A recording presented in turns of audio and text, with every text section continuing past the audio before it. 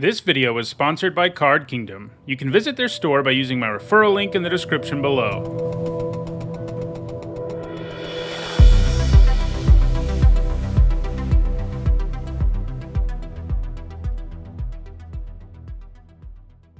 This is not a very exciting pack, I have to say.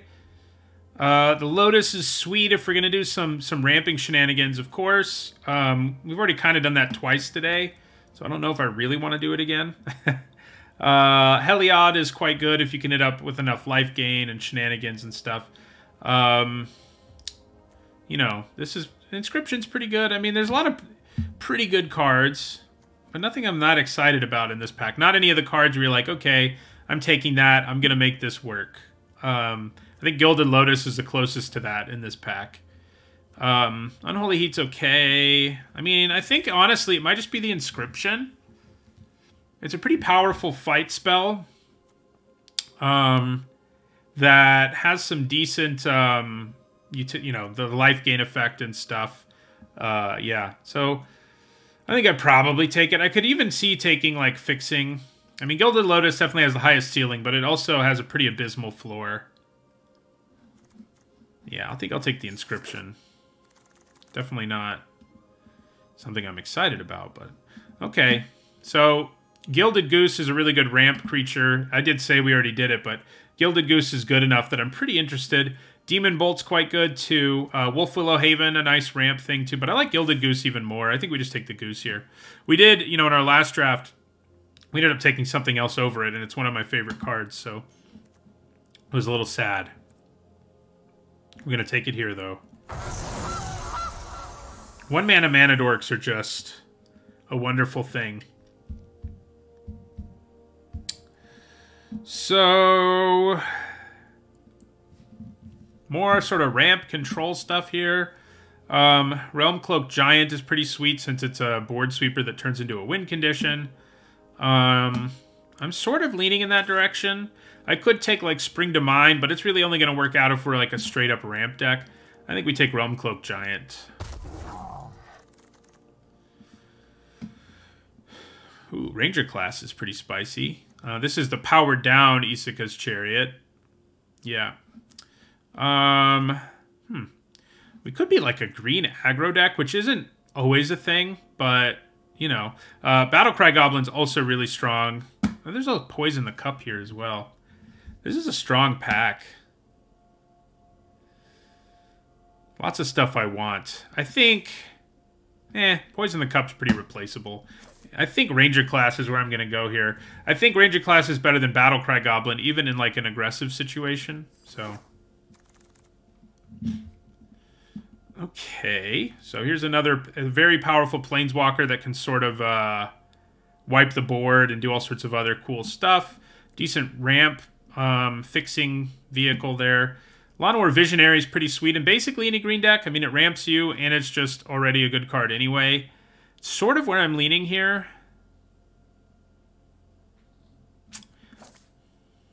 I mean, you know, in a vacuum, Chandra is definitely the better card. Like in, in most limited formats, maybe I should just go that route. Yeah, you know what? Chandra's too good. She may not be exactly what we're doing, but she's very good. Um, so here's another sweeper. Uh, there is sort of a blink deck in this format, and Thassa is obviously pretty sweet if you can make that work. I do really like Giant Killer because it's a removal spell that's also a creature. Uh, and I think it's what I'm going to take here. anything that has multiple modes in Cube is is, is quite good um, overall. So this pack has me a little more interested in trying to go a more aggressive route. Uh, Rimrock Knight is really good in that kind of deck. Dark Dwellers is good if you have the right spells to support it. Um, Bala Ged Recovery is an okay dual land. We also just have Fixing here, which, you know, Fixing's always nice. Um, Immersturm Predator is obviously pretty good. I'm kind of tempted to take Rimrock Knight and see if like red green aggro works out for us. Um,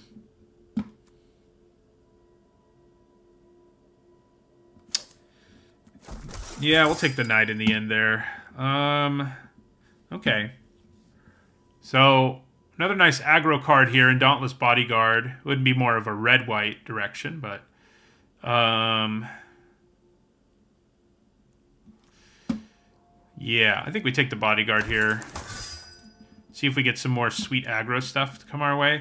I mean, Terramander's a nice early drop, uh, if we're blue, obviously. I think I probably grab the Lotus now. I think there's two main directions we could end up going, and that's like an aggro deck or some sort of like wacky multicolor deck. Um, and I kind of like Direfleet Daredevil because it works in both of them pretty well. Reclamation Sage's Knights nice too. Obviously, Escape to the Wilds is great if we end up in like red green ramp, and I mean we could. Uh, Wolfwillow Haven is pretty cool as far as ramp goes. I'm gonna go with the Daredevil. I just feel like it will fit into a wider variety of decks, and we don't really exactly know where we're gonna end up at this point. So, yeah. So I think we just grab the fixing here.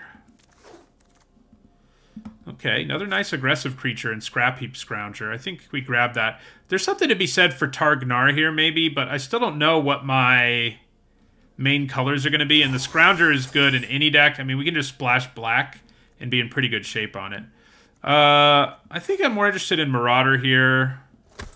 I think we seem to be switching into a more aggressive deck.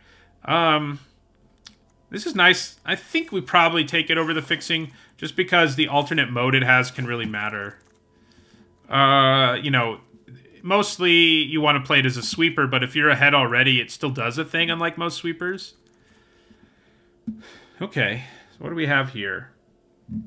Uh, some good stuff. Uh, Lorehold Command is quite good. Lightning Strike's good. Rekindling Phoenix is good.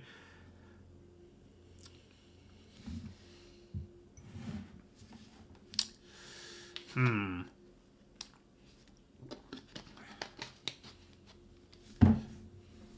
I'm leaning towards Rekindling Phoenix. It'll be good in any deck. It's another card like that. I mean, so will Lightning Strike, but I think it is just so hard to deal with that I'm a pretty big fan. So... Oh. Okay. So if we were going the ramp route, Ulamog would be sweet. Um, obviously, Elder Gargaroth is quite good. But I think I just take Khenra here, and I think we just sort of I think it looks like we're going to be a red-green aggro deck more than anything else right now. And the Khenra is a great card for that deck. It's just such a good um, drop. You know, it just comes down early, makes things unable to block, and then in the late game it still has some punch. Um, Gargaroth is obviously great if you want to go a more mid-rangey route, and we could, but I like the Khenra a lot in the aggro decks in this format. Lightning Helix is nice, but doesn't really look like that's the direction we're going. Uh, there's an Esper Sentinel. I mean, we could still be white-red, I guess. You know, the only really good green aggro card we have is Ranger class. Um, so we could still be white-red. I mean, Bodyguard and Giant Killer are both pretty good little cards. Uh, I think we grab Esper Sentinel. I think it causes enough problems that I'm pretty interested in its sort of hate bear effect. All right, Bone Crusher Giant's great for what we're doing. Kills stuff, and it's just an efficient creature. Um, ooh, okay. So we've got Angel of Invention, which is a super powerful, like, top curve to have in this deck. I would like Reidane, and I wouldn't hate Clarion Spirit either, or Thundering Rebuke, but I think we take the Angel, and I think we officially sort of move into this red-white, um, red-white aggro deck here. And maybe we try to splash some of our green cards, but right now I don't really think so. We need to lower our curve significantly, which we can do. Um, we could take some fixing. None of it's great. Um, Deem Worthy's okay. It might just be what I pick up here. It's kind of unlikely Chandra makes the deck. And Realm Cloak Giant to some extent, too. Um, yeah, we'll just grab Deem Worthy here. Okay, Young Pyromancer. Do we have... How are we doing on spells? We not don't have a lot of them, but obviously it's a pretty spicy two-drop. I think I'd probably take it. Could still end up mono red, too, the way things are looking. All right, I think Alseid of Life's Bounty is good enough uh, as a white card. We could take Banefire. Would I rather just have Banefire? Probably. The reach is too good. I mean, we do need to lower our curve some. Um, but it's looking okay. Uh, I think we grab the Banefire here. Um, okay, Lorehold Command came back, and I think I think we're down with that. It's not quite as aggressive as some other cards, but it does have a big impact on the game. And I think I like it more than Clifftop Retreat, for example. Um, yeah, looks like ramp was pretty open. Dromoka's command is obviously really strong. I guess if we ended up back in green-white, I'd be interested. Overgrown farmland could potentially get us back into green-white.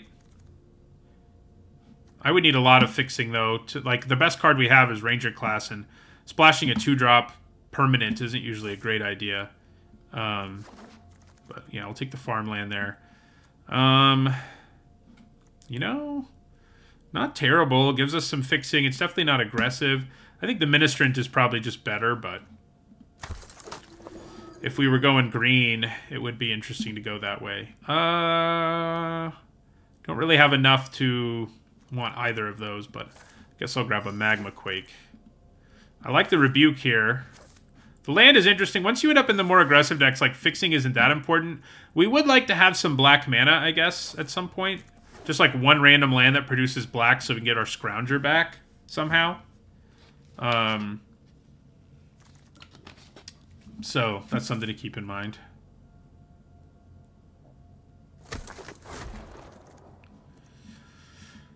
Okay. So there's Anax, which is awesome. That's probably where we go. I would love to get an Embercleave, obviously. Who wouldn't, right? Um, but yeah, I think we take Anax here pretty happily. I don't think we're going to be interested in... I don't think we'll need Deemworthy. I think this is kind of what our curve's going to look like overall. Looks pretty good. I mean, the Marauder, you know, it's going to be better if we were more graveyardy, but it's still a 2 mana 3-1 It has some pretty real late game upside. And I like that. Um, ooh, okay. So this is good payoff for going the aggro route, pumping all your stuff, making double tokens. It's another good higher curve thing to have. I mean, I do find that this deck tends to be at its best when you have, like, very few things that cost more than three. But I think Zariel is good enough that I want to take it. Uh, Frenzy, and you know, is pretty good. I, I kind of hope Scorch Spitter Wheels. I mean, it's just like a nice little creature for this deck. This deck is really just like the fun patrol deck in the format. It, it punishes everybody for doing silly um, uh, things, which is what a lot of people want to do. It's what we've done so far today, is silly things. So I'll probably just grab the Pillar. I could grab Temple of Malice to get my random black mana, but Pillar of Flame, these cheap removal spells that get early blockers out of the way are pretty important for this kind of deck. Um, Den of the Bugbear is pretty good. Thalia is interesting. I think we probably want Thalia. We don't have that many spells, and she's a big problem for people, and she has good stats. I mean, I do like these removal spells and the creature land, but Thalia looks pretty good for us.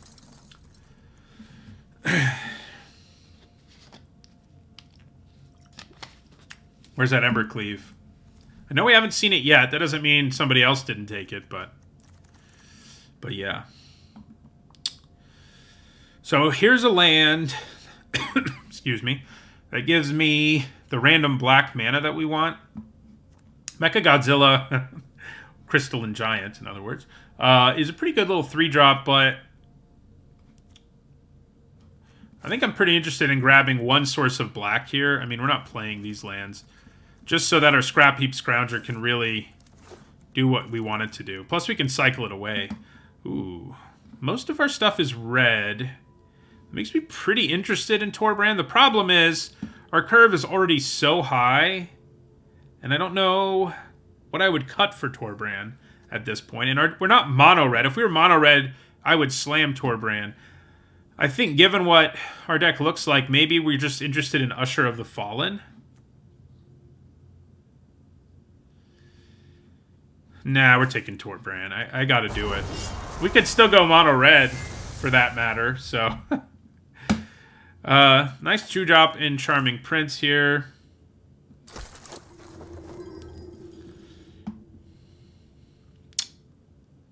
And, you know, uh, sure, we'll grab Hallowed Fountain.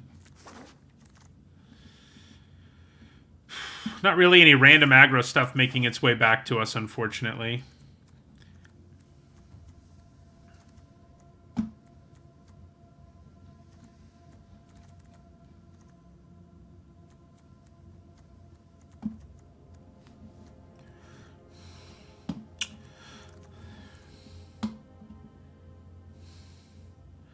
Stomping Ground, not really going to give us enough to...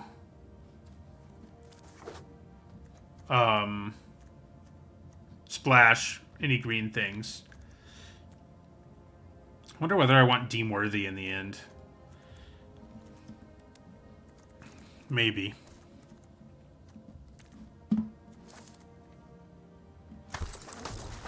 Yeah, somebody else jumped into aggro here late, because I don't even think the, um...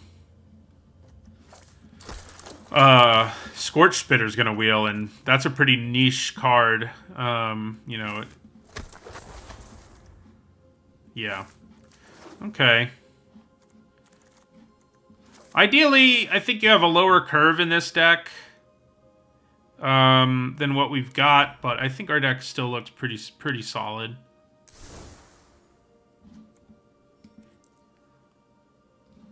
I mean, we have a pretty low curve, I guess, you know. Um,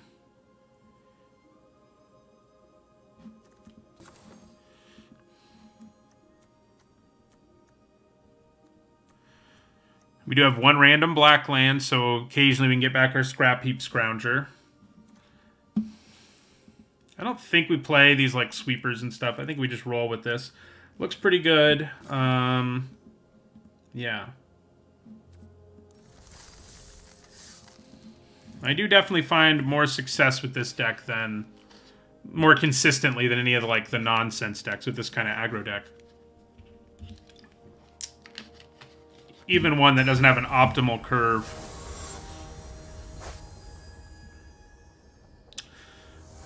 So yeah, I mean, more fixing might have been nice to help us play Torbrand more consistently, but I still think we're doing okay. It's a pretty good hand. I mean, we got like all our spells and a Pyromancer, which you know, that's that's pretty good. if the Pyromancer survives. Um, anyway.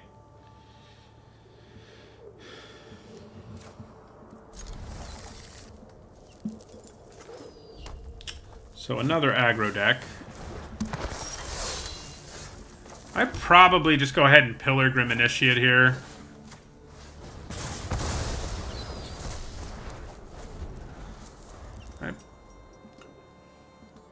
I could have been greedy, but I think just just putting the the deck that got to go first on the back foot a little bit matters.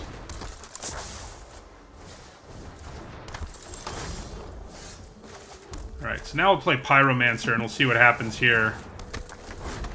my Pyromancer gets to live, I'll be happy, but I think there's a good chance it gets killed by a Pillar of Flame or whatever. Okay. Um, I think we just have to take this, given the situation. And then we go ahead and rebuke this. I probably just attack here. We can deem worthy the outcast before it does its thing if we have to.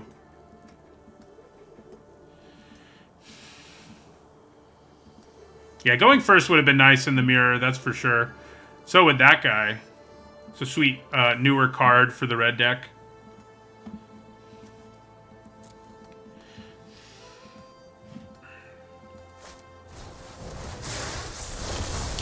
Makes sense. You know, it's a little rough sometimes to have to do things like that. But I think our opponent was right to do it that way. Okay. Let's play Earthshaker Khenra here.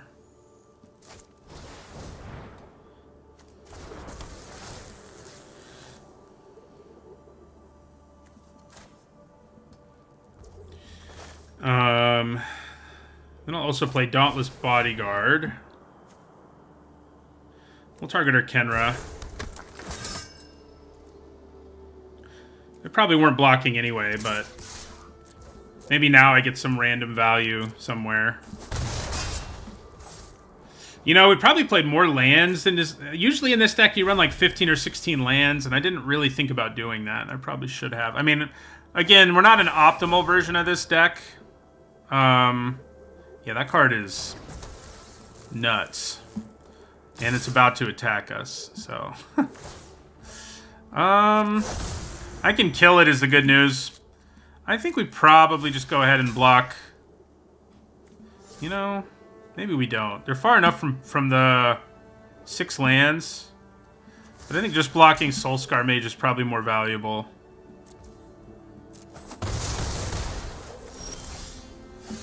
Okay. So... Go ahead and deem worthy their disciple.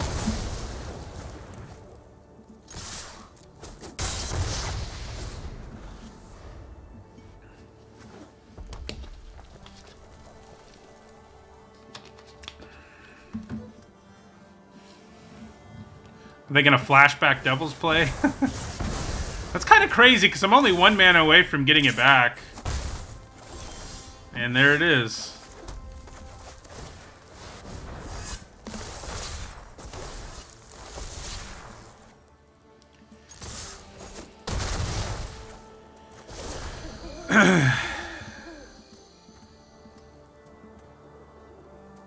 Think we have to run 17 in this particular deck, which is a bummer for sure. I wonder if they can burn us out here.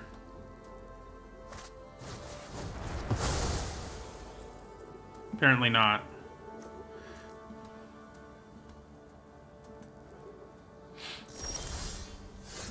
Ooh, that's pretty spicy. Okay. Rimrock Knight is such a sneaky good card.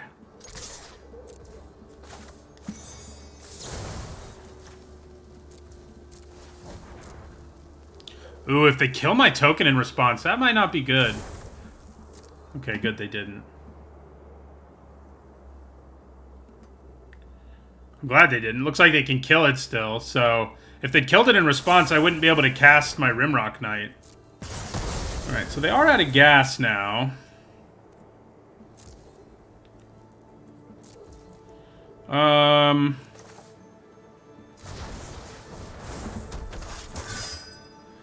I think we just play Giant Killer here.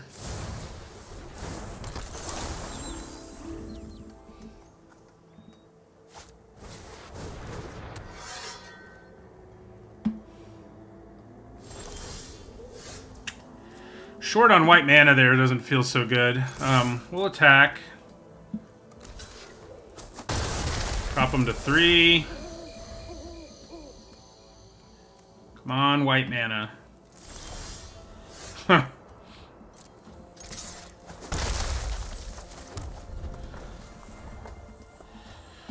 the only good news is our opponent doesn't seem to have anything either. Maybe they have a kill spell here. They do. They drew one of their mini lightning bolts.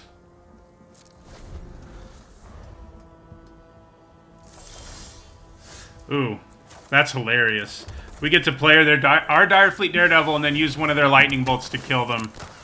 Beautiful.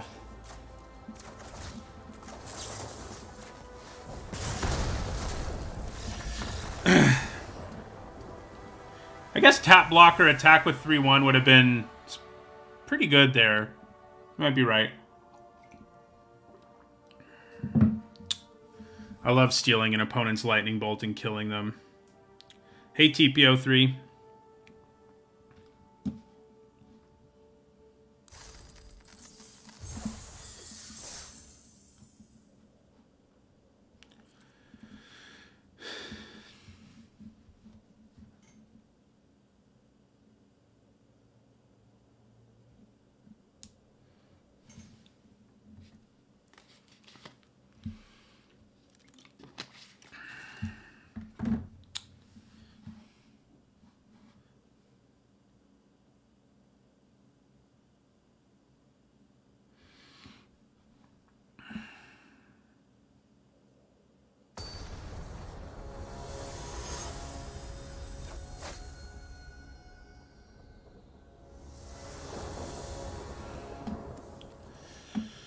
Okay, pretty good. Um, you know, it's less aggressive maybe than an ideal hand in this deck. Like we'd have a two drop, but Scrap Heap Scrounger into Anax isn't something I can complain too much about. Hmm. I think we'd probably still go with the Scrounger. It's tempting to go Pyromancer and then rebuke something, but hey, Ranger class. That is less than ideal. Um...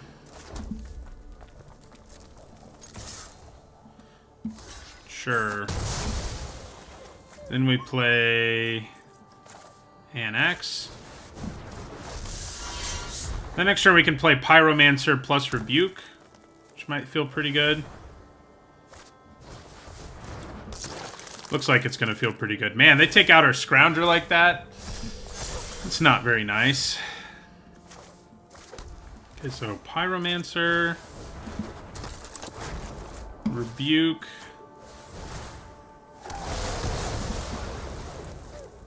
Attack them for three.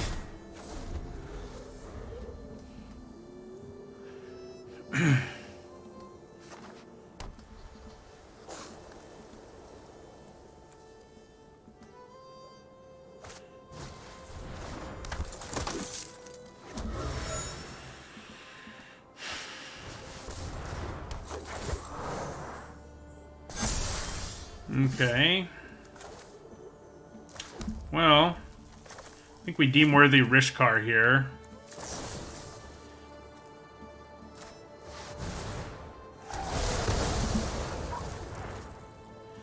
Attack with Anax.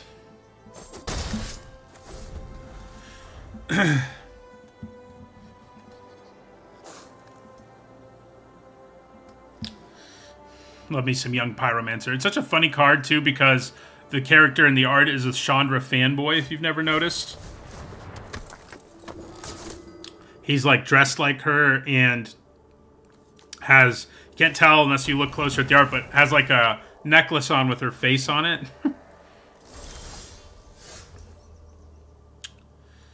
okay. Well, this is where running as many lands as I am doesn't feel great, huh? It's interesting they decided not to level this up. So I could attack with Anax here. I mean, it's not a terrible plan. He kills one of them. But I could also just wait things out a little bit, which isn't ideal in this deck. Oh, I guess I want to draw a card more than they want to... Is it a little girl? I'm pretty sure it's a it's a man or a boy based on the art, but I could definitely be wrong. Mostly because they're shirtless. uh, but that could mean, you know, that could be a lot of things. Um, so...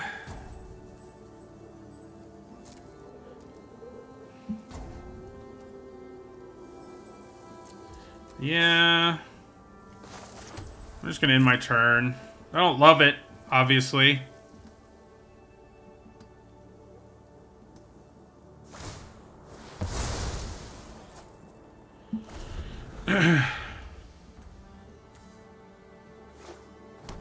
Once that thing gets big enough, I can kill it is the only good news. Uh, but we are supposed to be the beatdown, and we're not really doing it right now.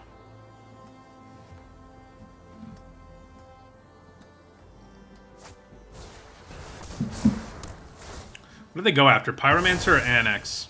Anax. Makes sense. I suppose.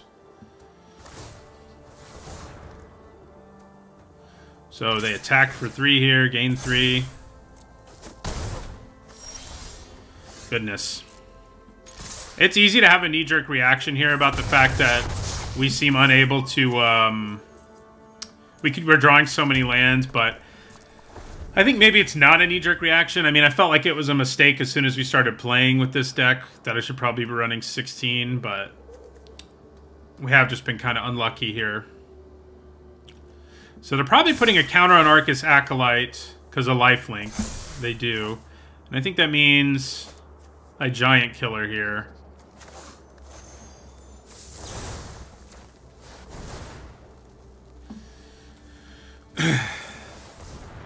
Ah, uh, brutal. Okay, so we take six.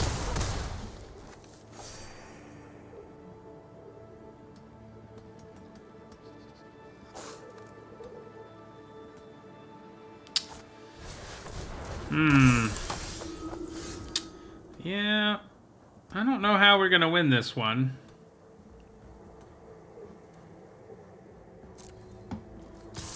If I get to kill Mikaeus here, that'd be cool. They're not going to let me, though. So Pillar of Flame doesn't do anything. They've got Lifelink and Reach.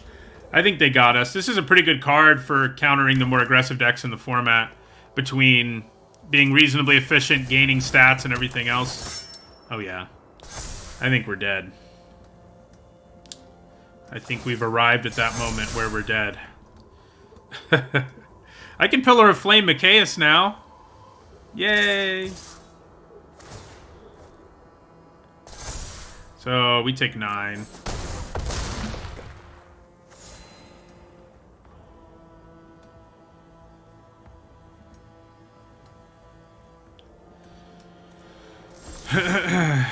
hmm, interesting. Uh...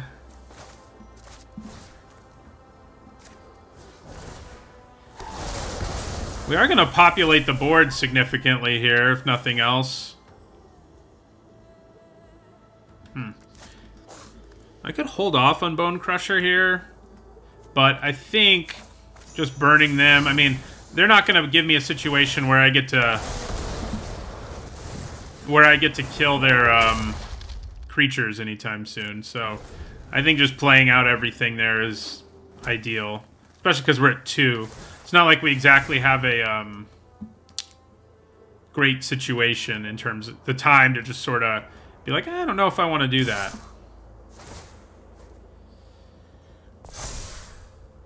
So what happens when you die? Annoying things. Um... Uh, I guess killing Basri's lieutenant makes the most sense, maybe. I mean, the lifelinker's a problem. Yeah, maybe. We're just going to try to kill the lifelinker.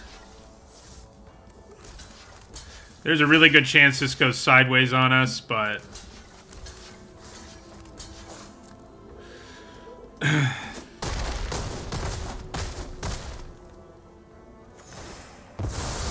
yeah, so they get a 2-2. I'd have to draw pretty well here to not be dead. Now... Oh. Fascinating. So, Shelter doesn't do much. Find. Find isn't too terrible. I can get Giant Killer.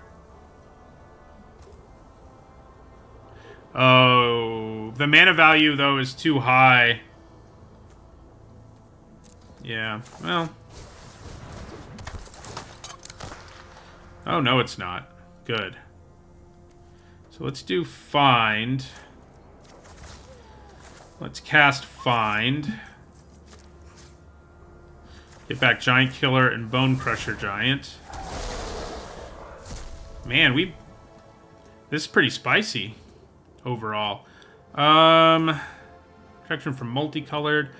So I can kill Basri's Lieutenant on their turn. We know the two cards in their hand, so I think we just pass.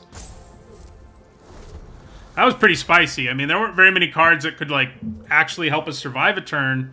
That was one of them.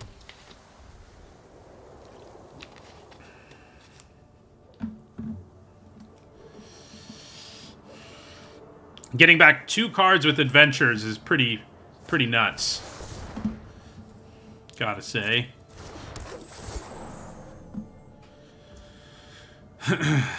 yeah, sure.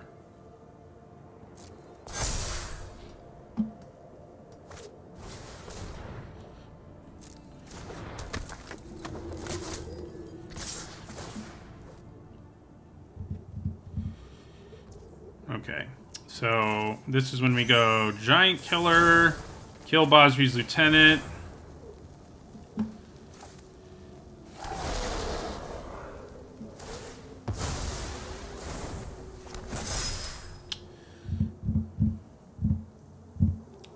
Then it's a question of how do I want to block here?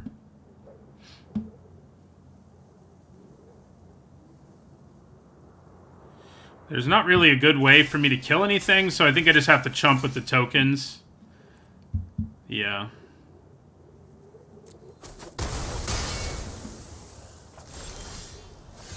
Oh my god. I can do Direfleet Daredevil again. There's not anything as good, unfortunately, this time, but we could do it again. Um, so before they untap or anything, I think we want to use Bone Crusher Giant to kill the Acolyte.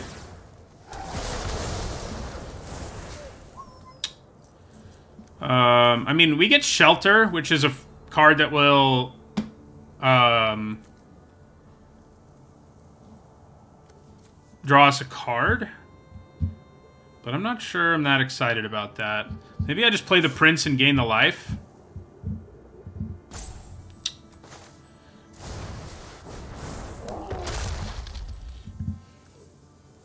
I could hold on to the Prince and wait till they play a spell or something. Or for a turn where it's more meaningful. Although, I think gaining the life is a big deal, because right now all their creatures are lethal. So I think we kind of have to gain the life, now that I think about it. Um, pretty weird that we're the aggro deck here, and we're sort of trying to grind this game out. I don't envision it ending well, ultimately. Yeah. But, uh, that would have been something we could have cast with our Daredevil, but, you know. Alright, so you have to block Ugly here. Not too surprising. Oh, we actually don't have to block Ugly. I forgot I have more than two life now. Okay, so...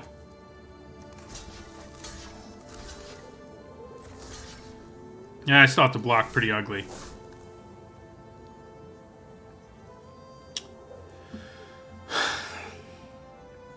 I can only let one of them through, so there's not really any way for me to block. I mean, there is a way for me to block and kill something, but...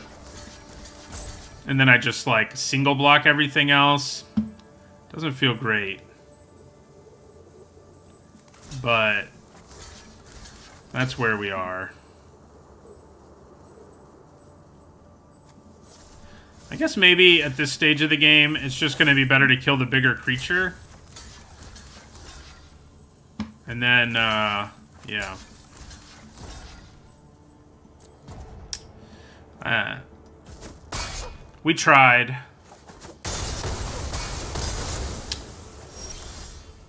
Man, imagine if I'd actually done damage to them in the early game. Might have had a chance here. Alright. Yeah. That Ranger class early was very hard to beat, um, unsurprisingly. Card is bonkers.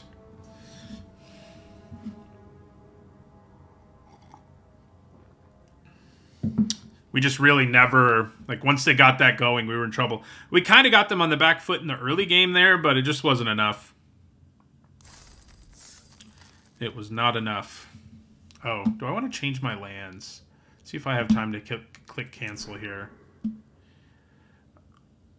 I may change my lands. Let's look at our curve real quick. I think maybe i've just been unlucky and we kind of have to run the number of lands we have but at the same time I could maybe see cutting of planes.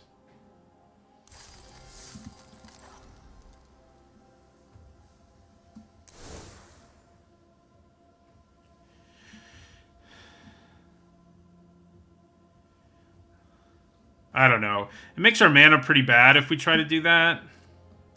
Because we do need to consistently be able to play one drops. I think we have to run 17. After all, we have three fives. Um, yeah, I think it's fine it's not amazing. And I think the ideal aggro deck, as I've said, is just like a, a red white deck with a bunch of ones, twos, and threes and cheap removal spells and like 15 lands. And we just didn't draft a deck that can do that. Um, we're a little, we have a little bit more of a mid to late game than like most of those decks do. Um, but we're also not nearly as good at wrecking our opponent early as most of those decks are. So it's it's interesting. Yeah, you can use Burn Down the House for the aggressive option, but it still seems like an awkward card for our deck. I mentioned that when I took it, but... Okay. It's kind of an a little bit of an awkward hand when you don't really want to play Giant Killer. but maybe we just do here. We have other removal. I think we probably just do it. If I had a better curve out, it would make it would be like a really easy thing to do, but we didn't, unfortunately. We do not have a curve out.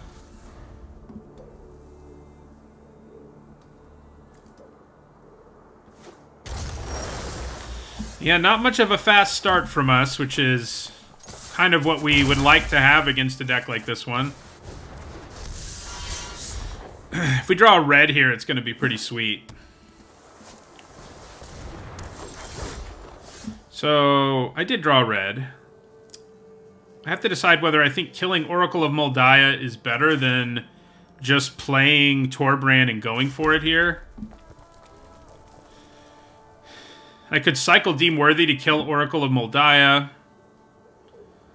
Um, I think playing Torbran is too good to pass up.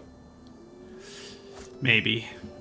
I'm second guessing myself here. I can also just play Rebuke and Direfleet Daredevil, and sure, I don't get anything from the Daredevil, but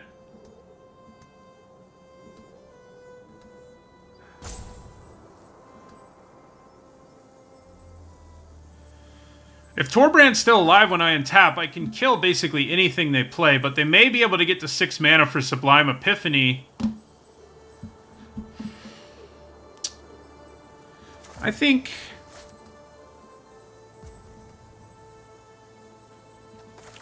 I think we play the Rebuke and attack. It's maybe a little more conservative, but... Oh, I should have played my Daredevil, too. I am going to play it. But I should have played it to do one more damage with Anax there.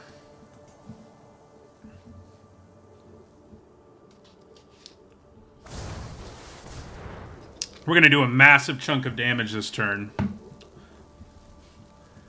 I'm hoping enough damage that our opponent can't really recover. They do still have two mana up, which matters. Uh-oh. Arena's trying to crash on me.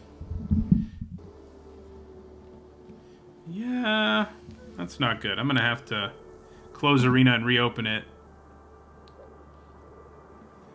to be safe here.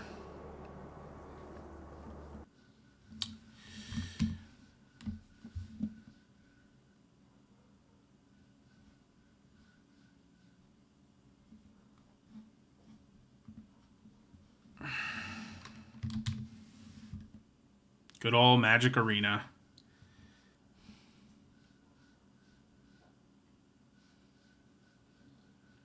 I'm going to be real mad if we end up not getting to have that epic turn we are about to have.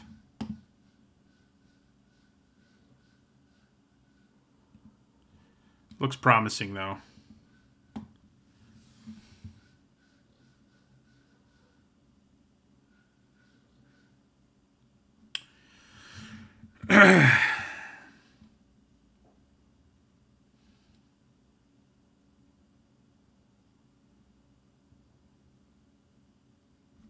Come on, Arena. Come on.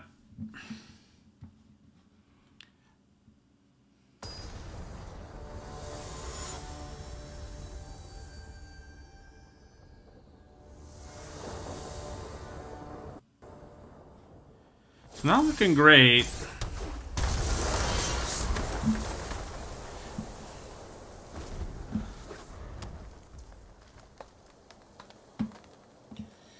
Uh, oh. Why did they get to untap so that... Crap. oh my god. We're gonna lose the game because of this. That is some nonsense. That's never what you want to be doing. Okay. So I can cycle Deem Worthy here to make sure Anax dies, at least.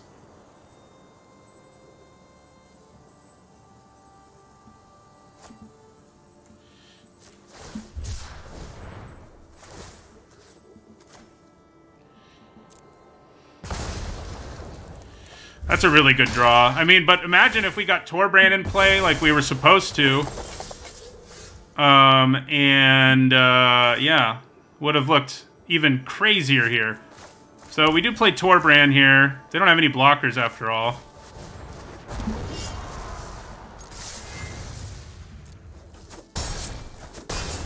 All right, we won anyway, so I can't complain.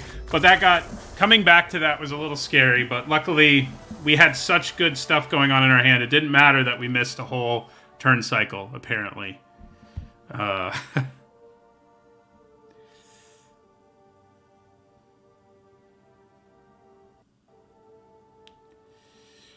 yeah, Arena is being very laggy, and it's not something on my end because my CPU usage isn't like insanely high or something. but yeah, that was not fun. Luckily, we won anyway, so I can't complain, like I said. Well, we won a game where we missed it. Like, we got time walked effectively by the clients. Hope we can win some more. Managing to get that win does feel pretty good, though. Pretty good hand. Um, you know, it's not the best at curving out, but just playing Thalia and, like, Charming Prince is pretty good. Pretty good.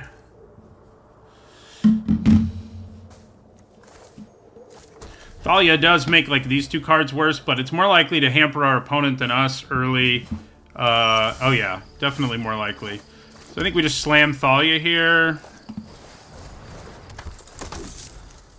Slow our opponent down if we can. I mean, if they kill it, that's fine. If they don't kill it, we just start playing more and more creatures. That's a pretty good answer to Thalia, unfortunately. And basically all the creatures in our hand. um, the 1-3 is just... Yeah, I guess we still play our Ministrant here. Into our turn. So this would be a turn where if they don't kill Thalia, we'd be able to play Zariel. Or if, if, if I didn't have Thalia. We'll see if that matters. Okay.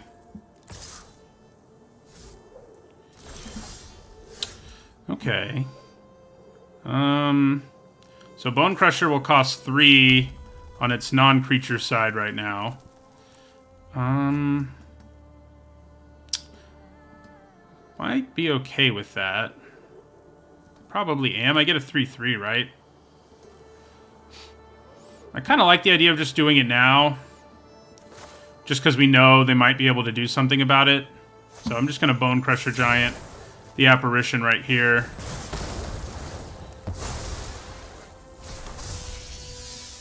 Into return. It is funny how much our Thalia has bothered us, but it's probably bothering them a lot more. He says, hopefully. Using Bone Crusher Giant to kill an apparition feels pretty good, because we don't use up a whole card and we still get our thing back, so it sort of feels like a 2 for 1. It's probably more accurate, like a 1.7 for 1 or something. If you really do the math on value there, but it's pretty good. That's the point. So this counterspell costs 4. We know that much. Hello, Kiro's Gurk. Glad you enjoy the content.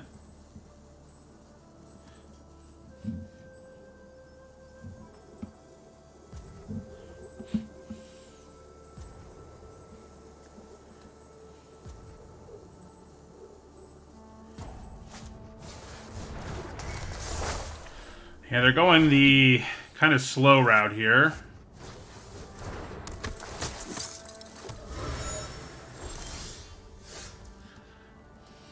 Um...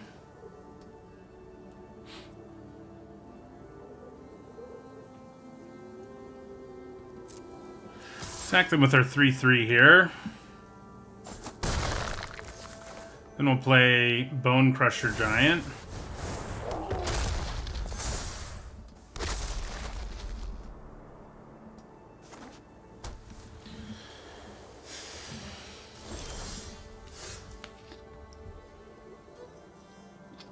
Okay. I think I might scry with Charming Prince.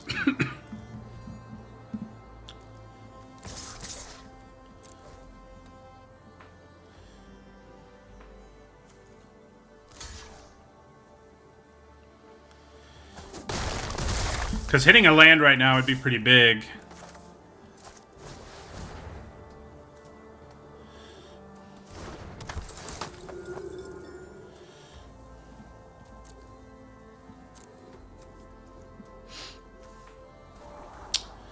Draw one of them. I don't really want to draw both. So the thing to keep in mind is they will have counter magic available. Oh, they cycled the Censor. Um, I mean, I guess a mountain would have been way better, but we actually don't have that red of a board right now, so it's not exactly an emergency. Thalia has definitely affected them more than us, even though it is sort of making our hand funny. Alright, so their plan is to try to mill us out. That's fine. I think we can pressure them enough that I'm not super alarmed about that. I would have liked that mountain, but, you know. So we know they only have two mana up right now. So if I draw a fifth land, which we now no longer know if we'll do, um, yeah, that Perilous Myr is not awesome for us. Uh, it ends up wrecking us numerous ways. I think maybe I just swing here. if they kill Thalia, it's not that big of a deal. It would let me play Zariel in my second main phase. So at this point, I'm kind of okay with it. I think just swinging out here seems fine. It's not awesome, but if they decide to kill Thalia, we're cool with it. If they don't kill Thalia, we do damage to them. The whole deal is acceptable to me. Okay.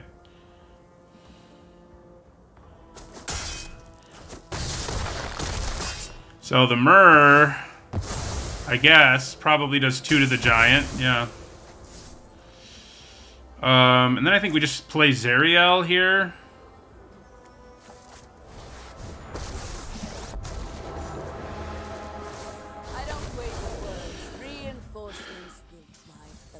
Devil tokens with Torbran is pretty spicy.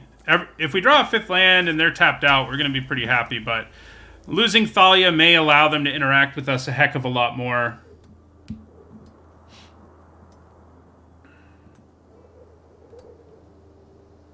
We're about to find out. I mean, they have enough mana at this point that Thalia has had to, you know, reaches a point where she's not nearly as useful anyway. Um, but yeah. Ah, Pteramander. I can make it a 5-5 It's pretty spicy.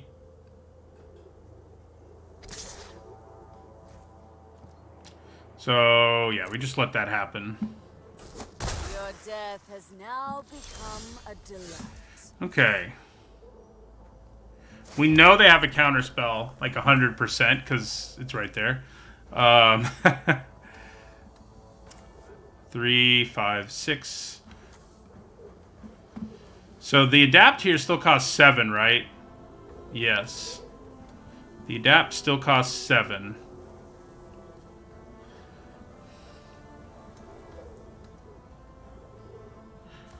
I kind of think playing Young Pyromancer... Drawing out that counter spell and seeing what happens sounds pretty good. If they counter our Pyromancer, they counter our Pyromancer. If they don't, I think I probably just plus one Zariel here and swing out.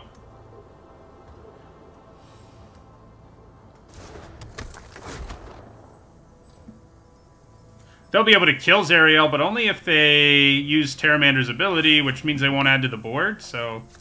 We're just gonna plus one here. Unleash your ferocity.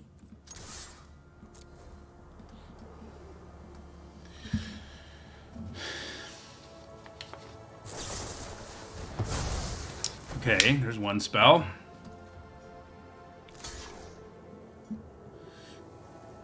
So good chance here what Pteramander does is adapt on their turn and kill Zariel, but that means we untap and play Angel of Invention or Torbran or Lorehold Command, and any of those is going to be pretty big deal.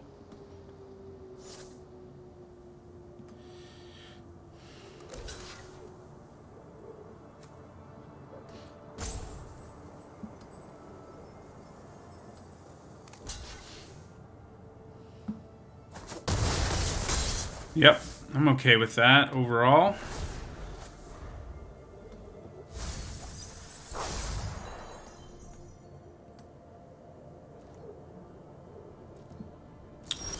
So we know they still have counter magic up.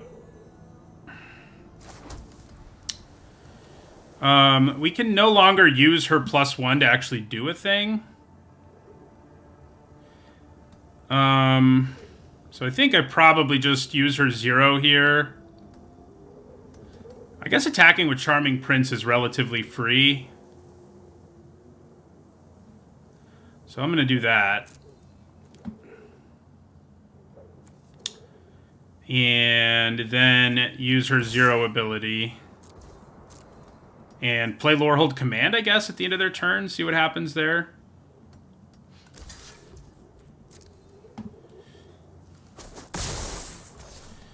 Um, yeah, and then use... Make a double token. So yeah, I think we'll play Lorehold Command at the end of their turn. It'll force them to either use their counter magic or... Oh, that's annoying.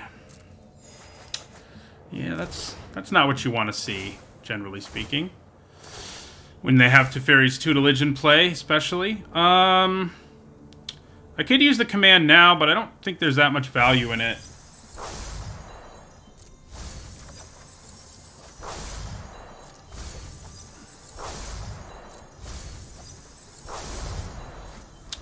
That drops us to 11, 9 cards. Yeah.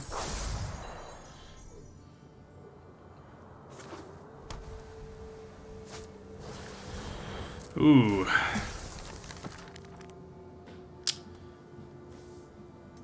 Spicy. So they can mill me here. Finding a way to do 17 to them before they mill us out is going to be a little tricky. Although... If they tap out, I have more of a chance, obviously. Um, yeah, let's... Can I find a way to do an... Oh, never mind. they mill me out here because of the two of those together. Yeah. They got us with the mill kill. It's too bad we didn't have one more card in our library, huh?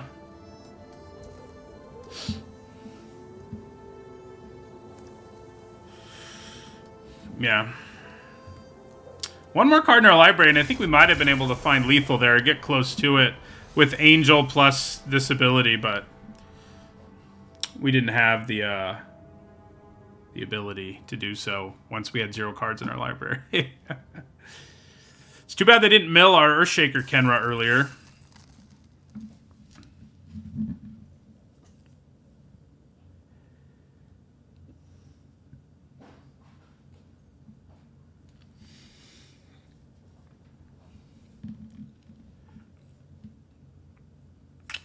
Yes, control decks, like going for mill, is a very real thing in this format, as we've seen today. I think that was a game where we just weren't as aggressive as we'd want to be.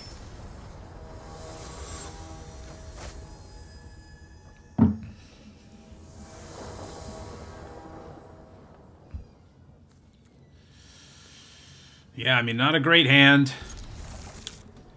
We just needed more one-drops and less high drops, basically, I think, for this deck to really be what you want it to be. Okay, so Bloodbraid Marauder into Earthshaker Khenra is not too bad. Um, in terms of just doing a bunch of damage quickly. I actually think we just play our Ministrant here, though. Oh, actually, we just play Anax. So then we play the Khenra next turn. We have a pretty good curve out now, thanks to the Khenra. So yeah, we can play Khenra, make that unable to block, and hit them for 9. Seems pretty good.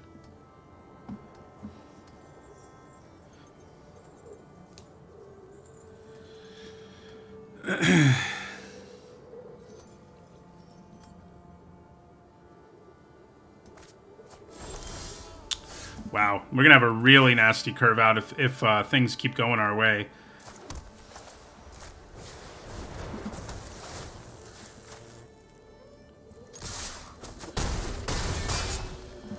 So next turn we play Angel of Invention. So if they're like tapped out here, we just do a colossal amount of damage to them. Um, They don't tap out, unfortunately, for us. Um, the question is whether I want to try to go off with the Angel here or go a little more conservative.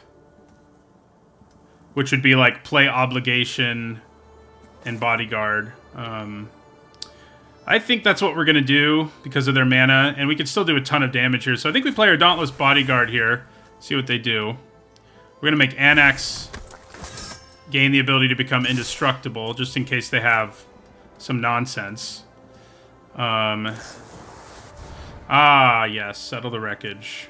Should have been more prepared for that. We will search up lands, though.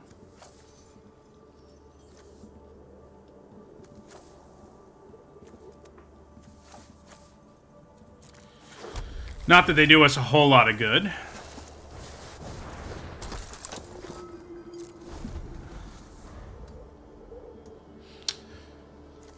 I forget you have to worry about settle the wreckage in this format.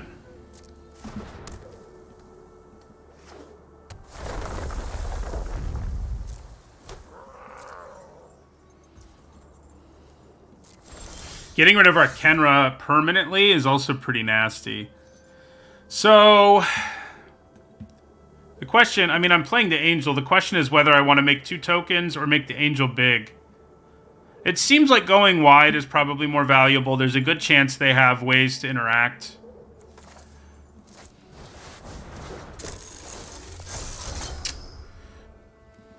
Yeah, I think we just go wide.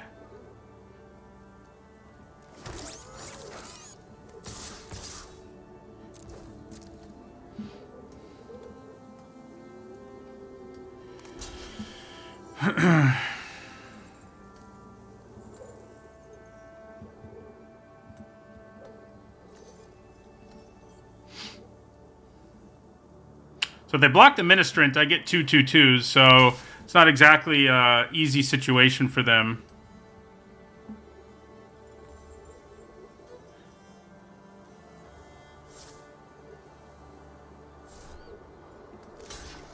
Yeah, I think that's what I would do, is just block the bodyguard.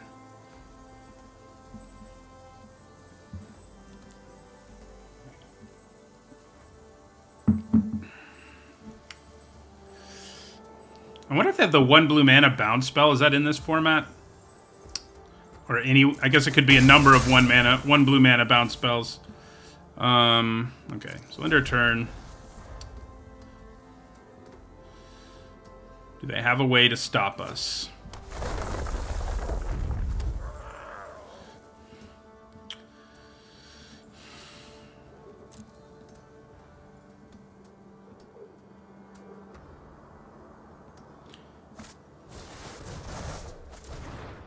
Okay.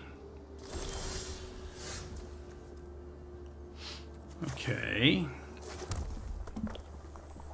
So, I think we'd probably go ahead and deem worthy... Well, I guess I could hold on to it to kill a more problematic creature later in the game.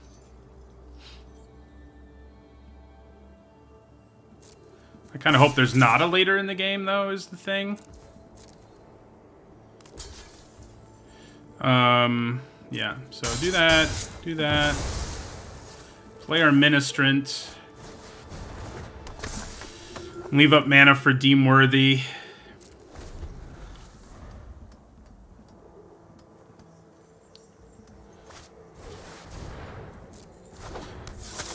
That is certainly a more problematic creature because it can block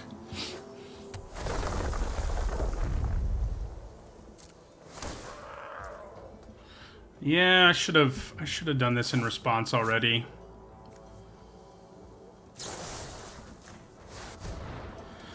See if they have a counterspell to protect it. If they do, we might be done here. Close to it.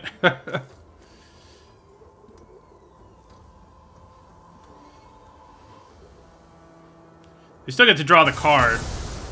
Which is why I should have done it before allowing them to draw the card, but yeah.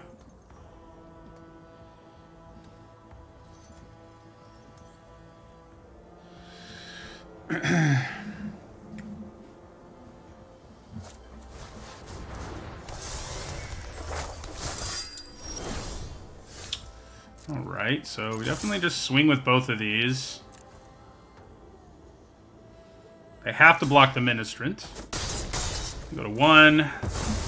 We get two, two, twos. So they need a sweeper. And they could easily have one. They're a blue-white control deck. but that is what they need. Some sort of sweeper. I feel like if they had one, they would have just pumped their whole board and swung there ahead of the sweeper, so...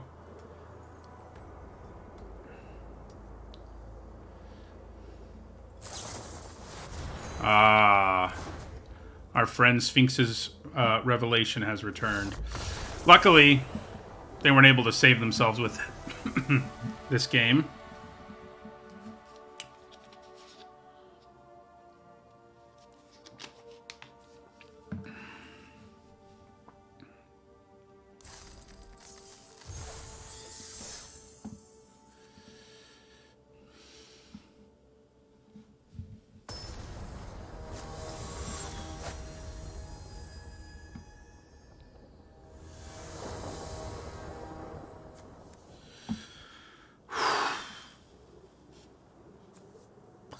No red mana here is brutal.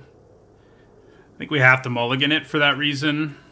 I mean, turn 1 Esper Sentinel can be nice, but there's no guaranteeing our opponent plays things that trigger it. And for that reason, I think we have to mulligan. Ugh. Similar hand. Uh, we keep it. I think we have to send Anax back, as brutal as that is. Because we don't have a good aggressive hand anyway, I don't see a reason to play Giant Killer. We're going to have to try to win this game a different way than, like, trying to curve out.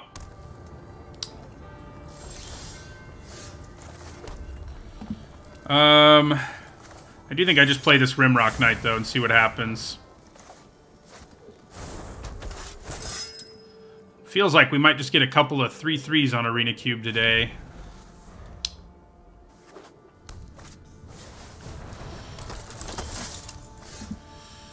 Okay, so go ahead and pillar her.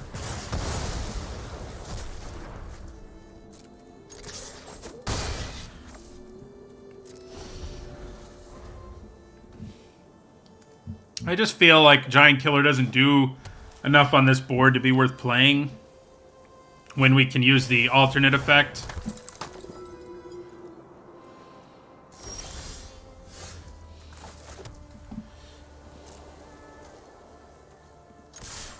Attack.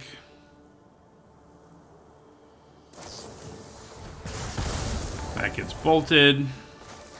Play our Ministrant. End our turn. Thank you for the follow, Lord Groove. And Buta Muffian. And thanks for the resub, Hefty Lefties. not looking good for us, though. You know, mulliganing is not good case you didn't know. Tends to not be very good. So, Phoenix of Ash is a problem. I think we probably block the Disciple.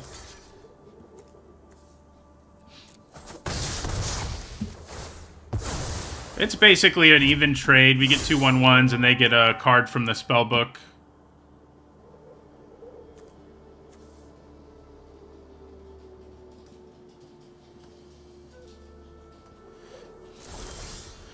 To know what they drafted, huh? I guess that makes sense. We'll attack with both of those. Play Scrapheap Scrounger in the turn.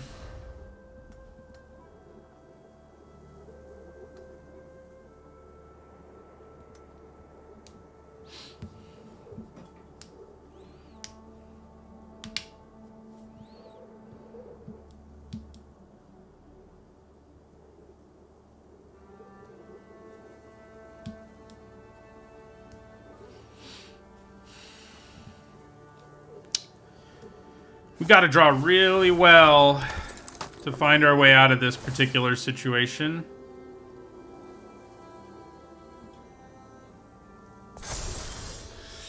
Um. Okay. Well. We attack with the Scrounger here.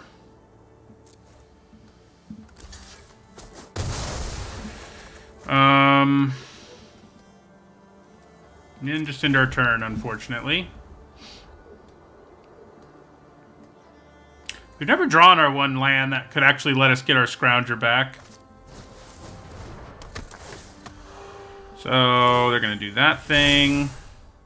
I can Giant Killer the adversary now. But I can also kill it with Banefire reasonably easy.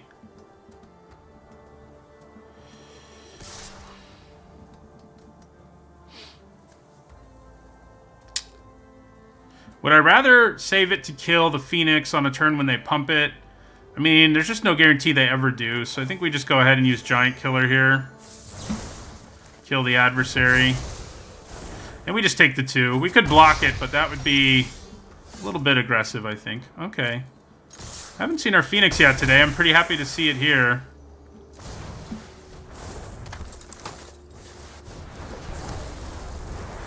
Now that's a Phoenix. Aww. That's sad.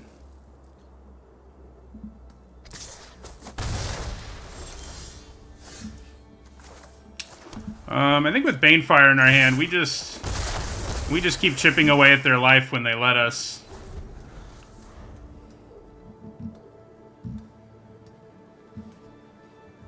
We can do five with it right now.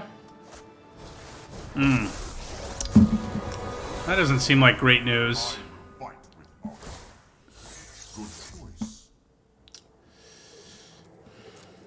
Doesn't really matter. I mean, as far as we know, let's give him a plains.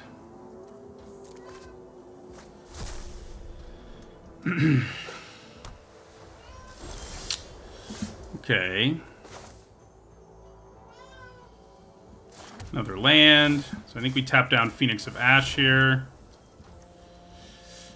I think we attack them down to eight. End our turn.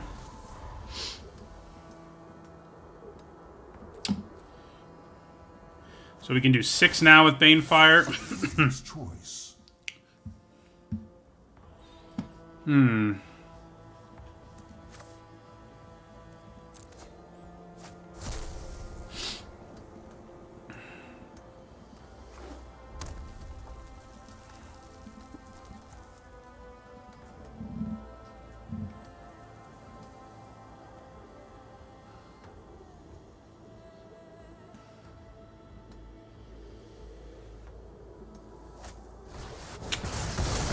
Okay.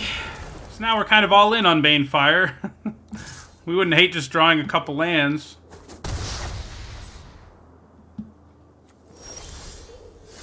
Okay, well. It's not a land, but it is obnoxious for them.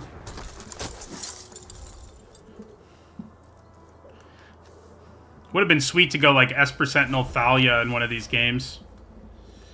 Good old Jaya's Immolating Inferno.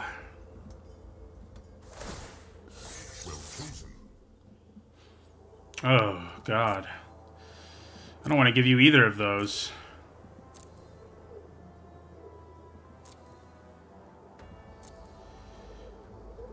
I guess I'm going to give them Dragonfire. I mean, the Apparition's worse because it lets them add to the board, so... They got some spicy things over there.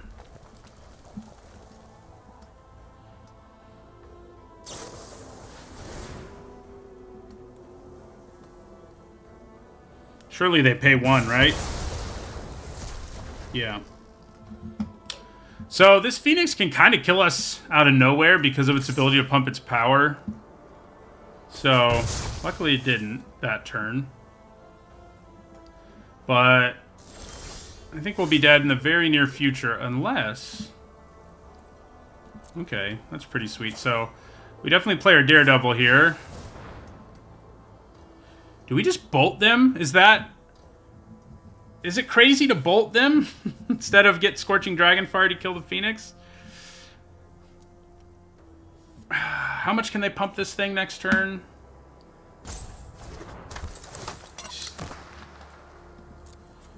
Um... They can get up. They can get it up to six.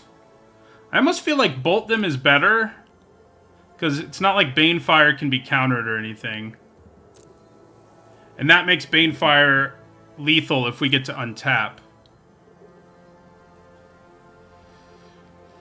Even if they attack with Den of the Bugbear and this, it's not enough to kill us. Let's just bolt them.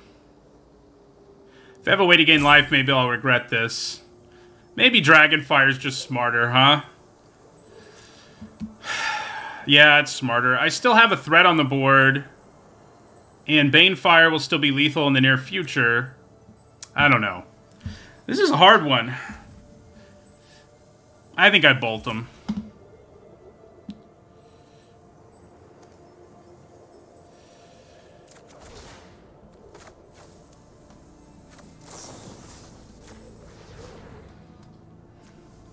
This is going to be interesting to see how this goes.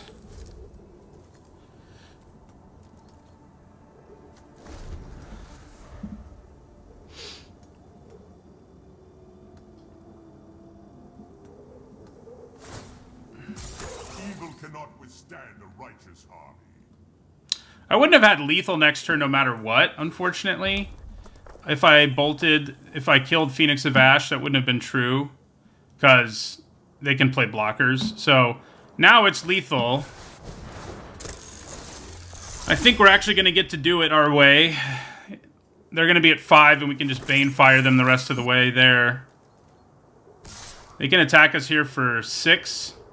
See, it definitely wouldn't have worked out if we bolted the Phoenix. I'm glad we did what we did. Because we get to kill them, like, regardless of whatever they might have going on, you know? So... So we have, let's just do seven.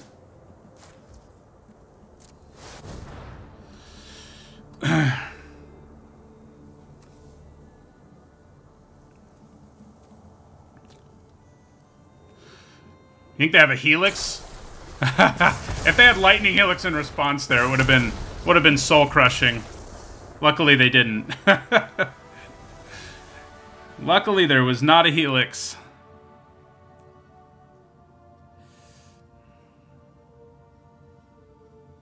Yeah, if we just killed the Phoenix, we would have lost that game. It's hard to know that's how it's going to go, obviously, but yeah.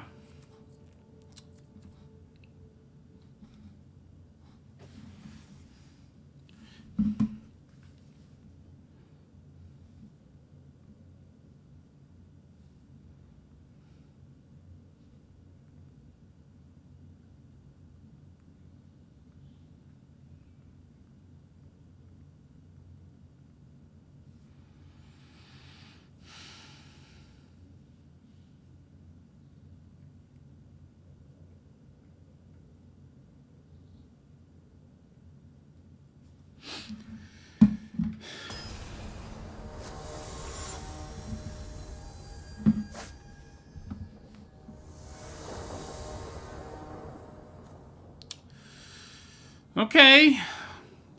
We really haven't had very many hands that started like with a good curve out. We've drawn into a few good curve outs though, so I can't complain too much, I guess.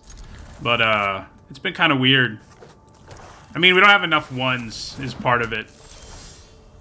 See, we actually are going to end up drawing into another pretty good curve out here. Bonesplitters in this format, huh? Mirrodin equipment.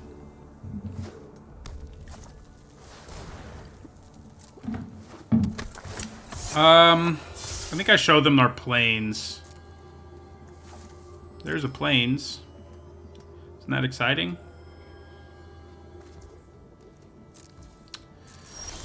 So a kind of funny thing I could do here is play Charming Prince, blink our Dauntless Bodyguard, and then make it so it can give this indestructible. But I think just attacking here, trading for Acquisitions Expert, and then playing Charming Prince to scry 2 is probably probably makes more sense.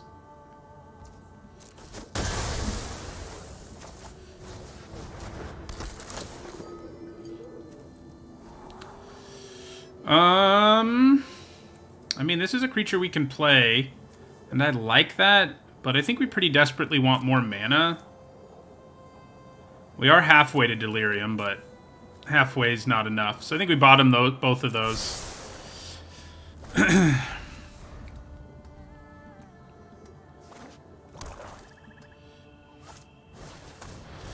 well, I'm glad I can kill that right away, because it obviously becomes a massive problem if you don't deal with it quickly.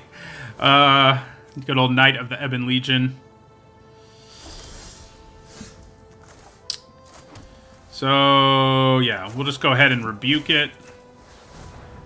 What if they have supernatural stamina or something like that? If they do, we can still take you down with Giant Killer later. I guess I could have cycled... Oh, no, I was one mana shy. Okay. I'd rather they have that than supernatural stamina or something, so... Like before, given what's going on, they have a Bonesplitter. I think we just hold on to our Giant Killer.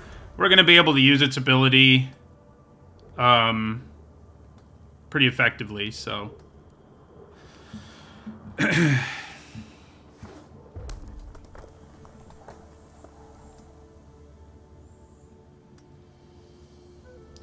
Deem Worthy, these cycle cards from Hour of Devastation or whatever are pretty cool because you would play either side of this card pretty happily. Like, the ability to... Four mana, do two to anything, or any creature and draw a card is, like, a pretty big deal. That was a very good draw, because... Um, this was going to be a problem. I think we do kill Midnight Reaper as opposed to, to uh, Dread Wanderer, because the Reaper definitely causes more problems.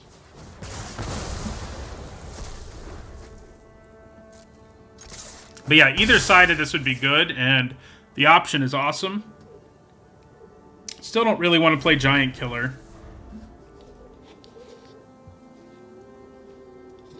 Wow. Thank you for the sub, Evan. Yeah, we'll take we'll take two. Not that we have much of a choice. Oh no. So we can kill God Eternal Bontu, but obviously it goes into their library, third from the top or whatever. There's that fourth land. Um, I guess I'm just gonna do it. Seems like it makes sense. Kill it, then play Giant Killer. Seems fine. I could wait to do it until their turn, but yeah. They seem to be a sacrifice deck, which is pretty sweet. So we'll go ahead and kill God Eternal Bontu here, temporarily.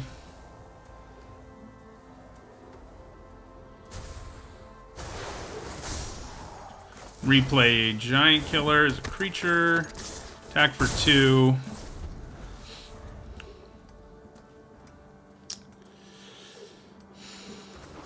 We're gonna have to draw really well here. Oh god. Now even drawing well won't necessarily save us. Um, I mean, I have like Rimrock Knight plus Deem Worthy. No, I can't even do that, so... Yeah, so I think we just have to pass the turn here. Which is not good, because that means they're going to get Bontu back at some point or another. I think I'd probably just tap Obosh. Um, because it can attack us however it wants here, basically.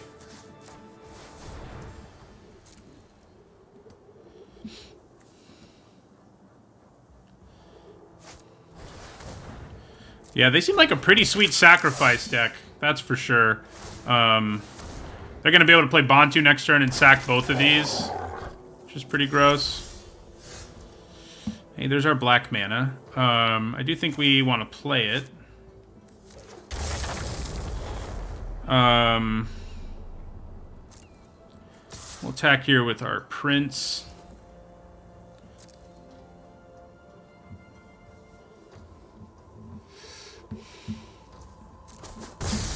You guys... Yeah. Um, I guess I should have used Rimrock Knight there. Yeah. Yep, I should have. Because I would have been able to do a little more damage and tap something down still.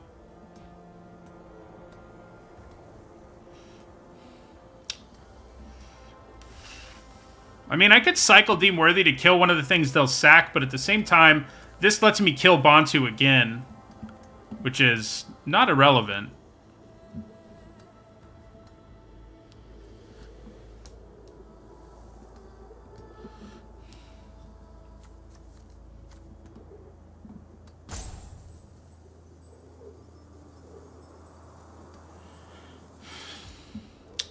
So, yeah, we tap down Obosh again here. Take. Does this do four? It will do four. Ow. Feels good. Feels good. Oh no. That's probably worse news. Witherbloom is just as dark and musty as I remember. Yeah. Yeah, that's going to be hard to beat in this situation. Although, them losing life, you know, gives us a bit of a puncher's chance. What with, um...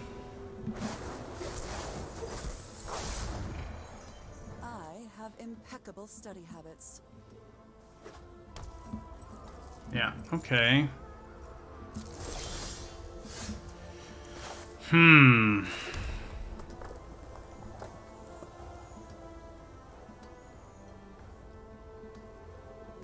So the problem is, Onyx can make us sack, like, our creatures and stuff. And that is a problem. Um... I kind of think I just have to let her stick around. I mean, it's not like I can really do anything about her. I mean, Zariel plus Rimrock Knight. You know, we wouldn't have had the mana. We could have played the Knight and used Zariel here without the adventure part. And that might have been what we needed to do there.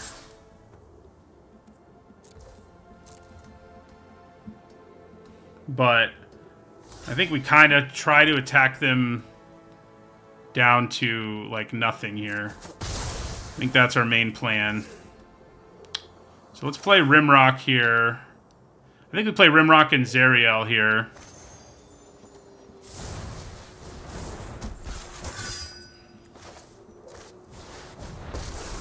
Which...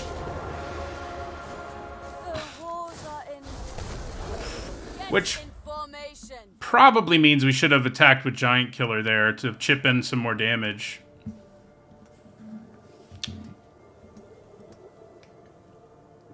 So they can attack for like 10 here. Um, which is not good. We can use Deem Worthy to kill Obosh. I mean, we're kind of hoping we find a window where we can just do lethal, which is possible. Playing the Rimrock Knight's kind of nice because if they make me sack a creature... Okay, they don't. Uh, but if they had made me sack a creature, I still would have had two blockers.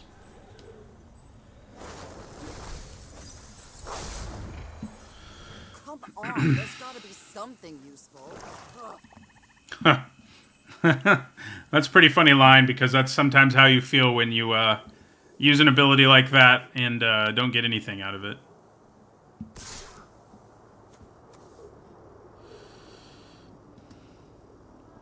So, I can just block Obosh with the Devil and kill Dread Wanderer, which I think seems pretty good.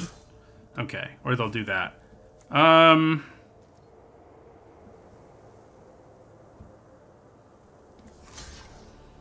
I think we still do it. Um, it prevents significant damage, puts them back a little bit on the board. Doesn't mean we do a little less on the backswing, but there's a good chance they're going to do something, you know? So, I think...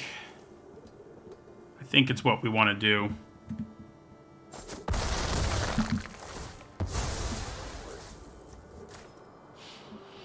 I could have gone after them. In a world where I had, like, uh demon fire in my hand or whatever, I probably I would have considered it, but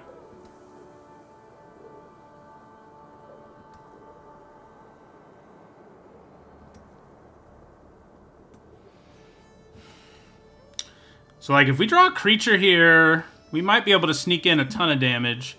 Um, so they can bring back some creatures here, but they do all intertapped. I mean, we can do nine already.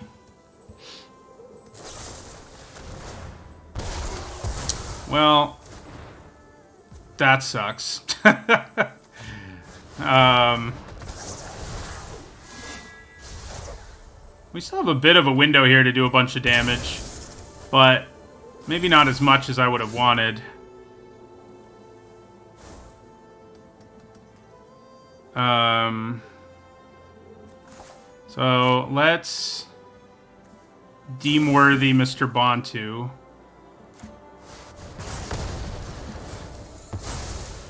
So I think we have to be aggressive here and hope it doesn't and hope it goes our way. Um, in other words, I'm going to attack for five. I could kill Anax if I use the abilities, but I just don't think we have the luxury of doing so. So we attack for five. Go ahead and play this, and we'll make a 0-0. And then if they have a way to kill our blocker... If they have a way to kill our blocker, we're going to be in trouble. Um, because I can just put Bonesplitter on this and swing for lethal. But if they can't kill our blocker, we got a bit of a chance here.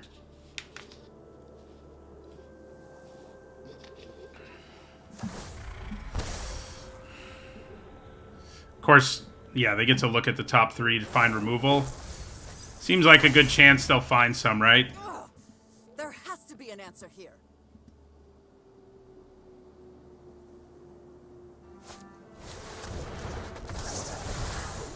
Getting a, getting Bontu back is pretty sweet, I guess.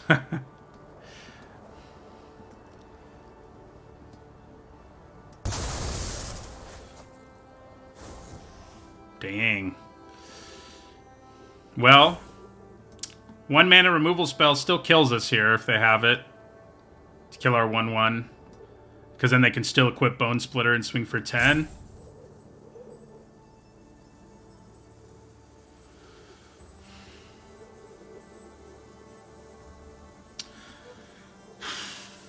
Come on, Demon Fire off the top. We have a 1 in 24 chance.